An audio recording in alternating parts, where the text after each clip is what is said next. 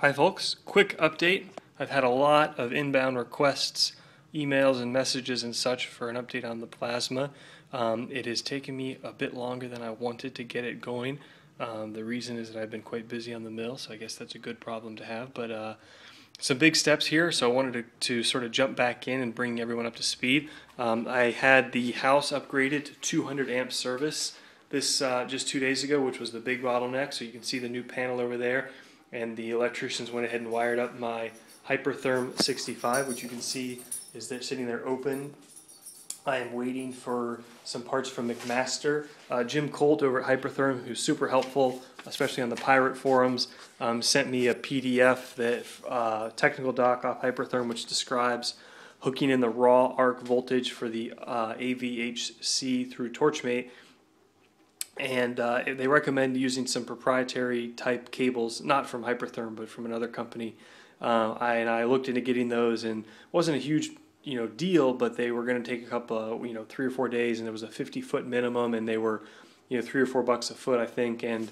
So I went on McMaster and I found part number 8237K11, which is a heavy duty 18 gauge, two lead, non shielded 300 volt cable which should do the trick. It was three dollars and forty cents a foot, so I could just buy five or six feet of it. Uh, it'll be here in the morning.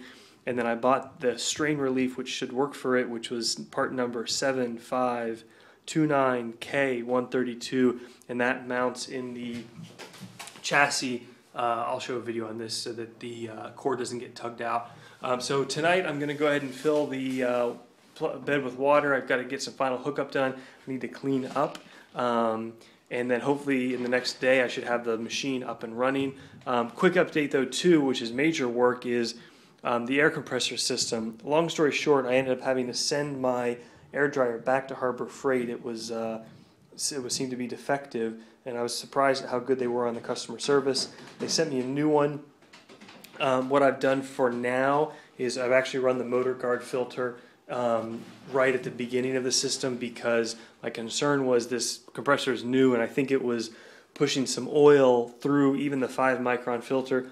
Doesn't make any sense to me, but um, I figured that motor guard is an absolute fail-safe. I know I should have that um, mounted close to the plasma, but uh, I'll get there. Um, but then more importantly, what I did was I took finally decided on going with half-inch uh, black steel pipe so I've got some more permanent uh, setup now, which is really helpful. I got tired of swapping things in and out and adjusting things all the time. And what I've also done, see if I can get a picture of it here, is um, I've run 20 feet of that pipe along the back wall and looped it back. And what I'll do is I'll end up mounting that at an angle so that it all drains down. And that extra sort of 20 some feet um, goes straight from the compressor tank to that 20 feet, then to the air dryer that should help it cool down a little bit and help um, help it drain some natural moisture out. Probably overkill, but I'm looking to have a pretty solid air system here. So again, a lot more to come. Just want to give you a quick update. Thanks, folks.